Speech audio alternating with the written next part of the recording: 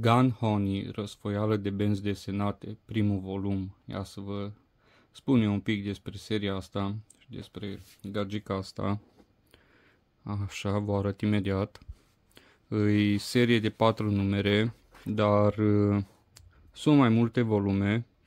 Așa, hard case, nu știu cât de bine vedeți aici, dar apare hard case, un imprint de la Titan Comics, scriitor uh, Charles Ardey, Ardei, i-am zis Ardei, e bine, Ardai probabil, un uh, artist din Malaezia care chiar a debutat în seria asta în comicsuri. Și aici avem și pe domnișoara Ganhani.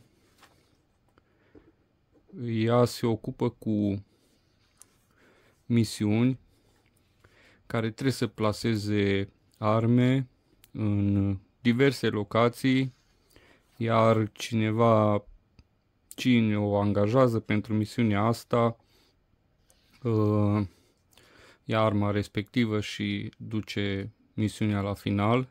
Deci fix numai cu asta se ocupă, dar ia o misiune mai ciudată și un individ scapă din pușcărie, dar nu o să vă spun mai multe despre individul respectiv, Cam de aici se complică toată treaba, plus că încearcă să fie angajată și de o agenție guvernamentală, dar nu prea le iese acestora. Și își continuă misiunile unde eșuează la misiunea respectivă cu tipul din pușcărie care evadează și ucide o grămadă de oameni. Încearcă să-l găsească, îl găsește și na, ca să aflați mai multe despre toată povestea asta, eu recomand să citiți volumul. Așa. Artwork-ul e destul de fain. Avem și scene mai pentru adulți. Și chiar arată super bine. Așa, nu vă mai arăt din poveste. Uh, aici avem alte serii, tot de la hard case și ăstea nu mi-am dat seama dacă scărți sau uh, romane grafice, a trebuit să mă uit. Artwork-ul din următoarea serie. Așa. Cerc să nu vă dau spoilere.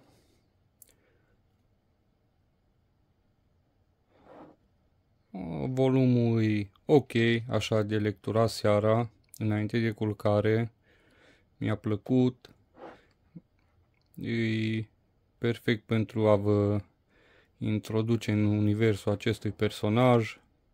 Aici avem și uh, originea poveștii. Trebuia să fie un alt scriitor, una din imagine, dar după 5 ani de zile și-o, uh, actual autor și-o dat seama că nu o să-l mai scrie niciodată Așa că l-a scris el. Covers Gallery. O grămadă de variant cover-uri care mai de care mai interesante. Așa. Și cam atât. Romanul în sine nu e destul de gros, având în vedere că are patru numere. Aici încă un variant cover. Deci dacă cumva doriți să citiți seria asta, vă recomand. Cred că o găsiți și să o downloadați de pe net. Da, știți că cel mai bine un comic book se citește în formatul lui original. Sper să-l găsești și ăla, adică single issue-urile. Da, deocamdată mă mulțumesc cu acest volum. Cam acesta a fost video, mersi de vizionare și o să ne vedem în curând cu noi răsfoieli de benzi desenate. Salut!